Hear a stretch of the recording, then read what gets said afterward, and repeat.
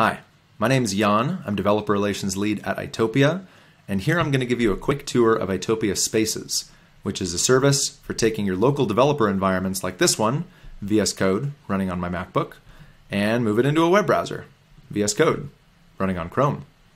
Same repo, same preferences, same extension marketplace, and also the same sorts of abilities you'd expect to have via terminal. So sudo rights, having your CLIs installed that you need to get your work done, the ability to push up to your Git repos, all that stuff you can do from this environment.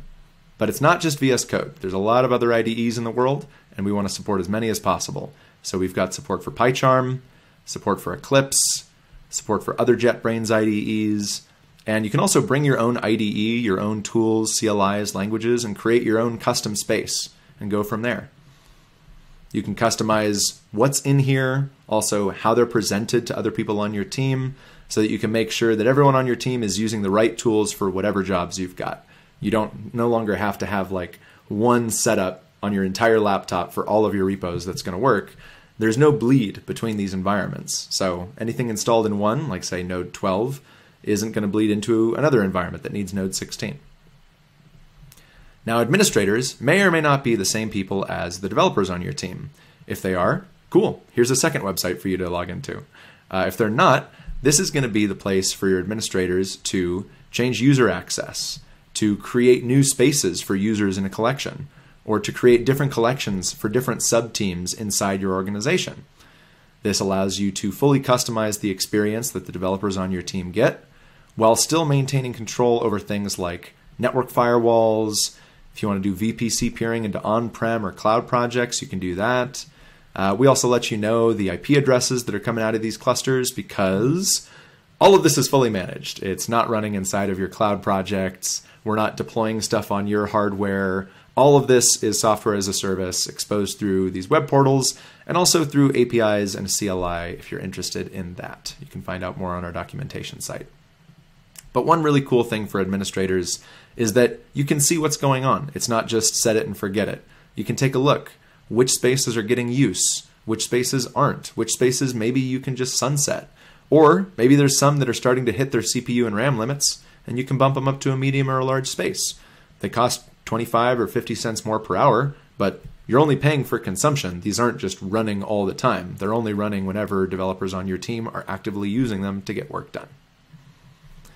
Let's talk about these spaces. Uh, they're all completely open source, seeing you know what goes inside of these images. You can take a look on our GitHub pages, on our GitHub repos.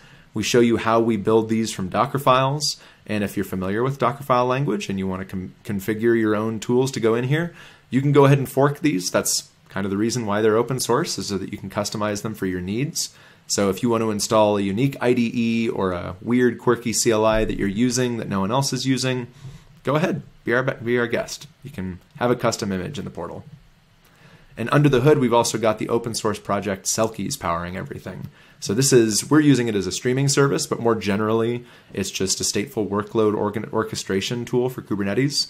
So it's got the platform, it's got the sidecars, all those sorts of things. If you're a Kubernetes head, feel free to dig into this. You'll have a field day with it. And you can join us on the Discord if you have any requests or a weird use case that you're interested in doing.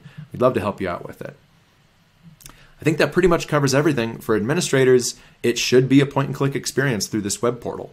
Powers that you're used to having and thought maybe you'd have to give up by moving to the web, no, you still got them, as well as some other powers that you didn't know were possible.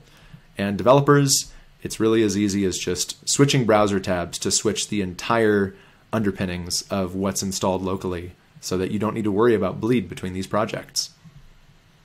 If you're interested in trying it out, we've got a 14 day free trial on the Google Cloud Marketplace, or you can find out more information at itopiaspaces.com. Thanks for joining.